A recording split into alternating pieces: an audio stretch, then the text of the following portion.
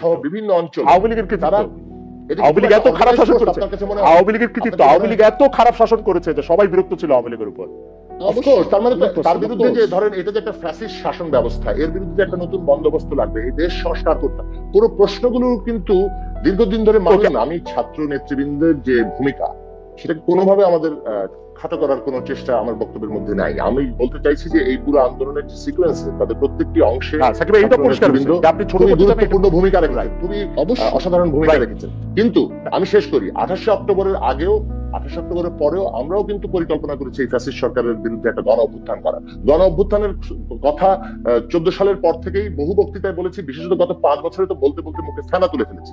কিন্তু প্রশ্নটা হচ্ছে এগেইন গণ অভ্যুত্থানের ওই ঐতিহাসিক মুহূর্তটা তৈরি করার ক্ষেত্রে আপনার কারও মানে পরিকল্পনা করলেই সেটা কাজ হয় না।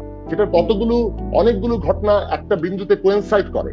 সেই কোয়েনসাইড করার ঘটনাটা এটা না সাকিব আমি আসলে সাকিব আপনি একটু আমি আমি বলি আমি এটাতে আপনার সাথে খুব তর্ক করতে চাই না বা পার্থের সাথে দ্বিমত করতে চাই না কিন্তু আসলে ফুটবল খেলার উদাহরণ দিয়ে যদি বলি যে একটা তো হচ্ছে গোল করা আর একটা হচ্ছে অ্যাসিস্ট করা মাঝখানে পেছনে কোথায় কোন খেলা হয়েছে সেটা কি এটার সাথে আসলে খুব গুরুত্বপূর্ণ। অ্যাসিস্ট আর স্কোরই তো আসলে আহ, মানে কাজে লাগে। তো আপনি যদি গণ অভ্যুত্থানের ক্ষেত্রেও সেভাবে আপনি দেখেন সেক্ষেত্রে স্কোর আর অ্যাসিস্ট যারা করেছে থাকলে আপনার গোলটা তো আলাদা করে আসে। আচ্ছা। এনিওয়েজ এখন এখন ঠিক আছে। আচ্ছা, ওনারাই ভালো ওনারাই না আচ্ছা ঠিক আছে। এটা নিয়ে নিশ্চয়ই এটা নিয়ে নিশ্চয়ই আমরা আরও অনেক কথা বলতে পারব। তাই কে কোথায় না আপনি কোথায় কথা বলি। আপনি এটা খালেদ আমরা যেটা আলোচনা করছি এই যে জমিনটা তৈরি হয়েছে যে কারণে ধরুন আহ, মানে এই যে নেমে পড়েছে ঢাকা সহ বিভিন্ন অঞ্চল আওয়ামী লীগের তারা এটা আওয়ামী লীগ এত খারাপ শাসন করেছে। আওয়ামী লীগের কৃতিত্ব আওয়ামী লীগ এত খারাপ শাসন করেছে যে সবাই বিরক্ত ছিল আওয়ামী লীগের উপর।